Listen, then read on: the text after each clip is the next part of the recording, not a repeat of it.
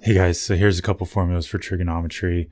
If you have a right triangle and you have an angle x right here that you're concerned about, the opposite side is the one opposite the angle, the adjacent side is the one that touches the angle, and the hypotenuse is the one that's opposite the right angle.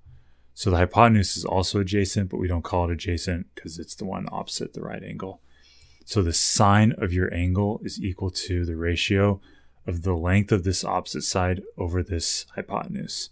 Cosine is adjacent over hypotenuse, and tangent is opposite over adjacent.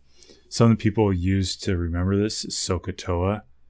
They would write out SOH CAH TOA. And all this is just a way to remember sine is opposite over hypotenuse, cosine is adjacent over hypotenuse, and tangent is opposite over adjacent which is what we have right here. So I hope this helps, and I'll talk to you guys later. Bye.